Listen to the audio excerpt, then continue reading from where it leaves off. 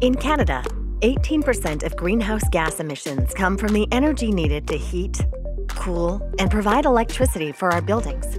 Almost everything we do takes energy. The climate crisis demands immediate action to reduce emissions and develop climate-resistant buildings. At Mohawk College, we're working to transform our buildings and energy systems so that we can minimize greenhouse gas emissions and do our part in fighting climate change. Mohawk's Joyce Center for Partnership and Innovation is a prime example.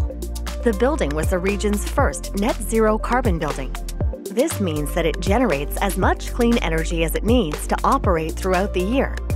As a new building, the Joyce Center makes use of efficient design and leading-edge technologies to fully offset carbon emissions. But the Joyce Center doesn't have to be one of a kind.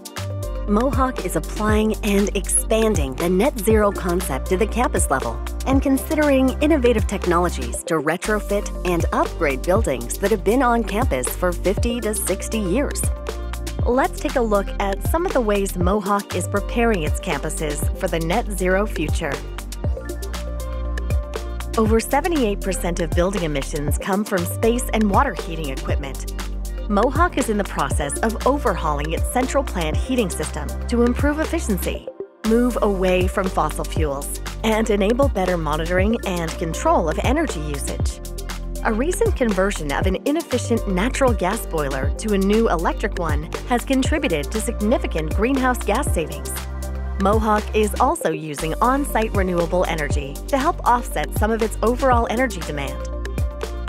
The Fennell campus is home to a total of 3,296 solar panels.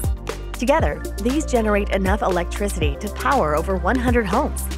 Ongoing conversion to LED lighting and the use of sensors helps to conserve energy on a daily basis. With these and other advancements, Mohawk has already successfully reduced emissions from its buildings by more than 65% since 2007.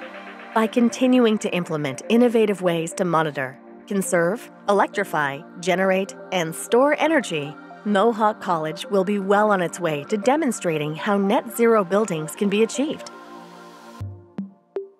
Today, Mohawk's applied research team in IdeaWorks is using the campus as a living lab to create further awareness and support future energy planning.